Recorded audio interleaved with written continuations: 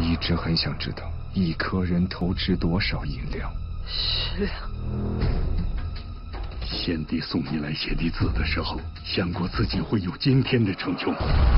没有写弟子，就没有我。写弟子是见不得光的鬼魂。其实你不过是个妖言惑众的贱民。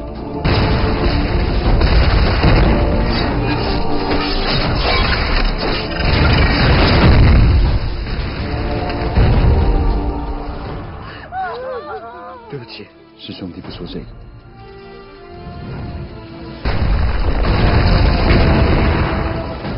你宁愿相信杂种，也不相信我。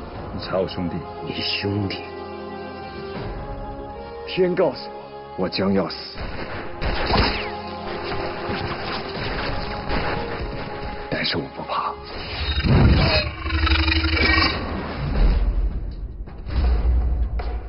如果明天死的人是你，我的命运会不会变呢？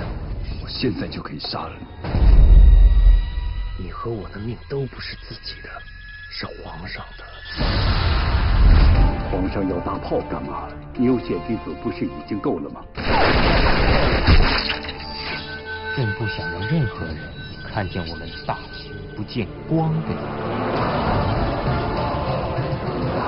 皇上的历史不能留下污点，是朝廷让我们做的血滴子，你是无解，奴才。无路可走的人，我救。